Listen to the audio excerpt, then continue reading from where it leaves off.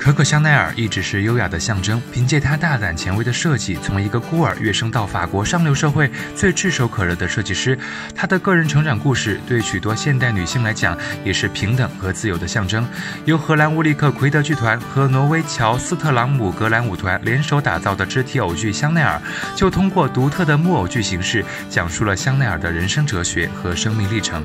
该剧将于五月七日、八日亮相大宁剧院。本剧揭示了时尚如何影响人们的价值观以及社会模式，探索服装如何成为一个身体，而身体如何成为一个傀儡。非凡娱乐实时报道。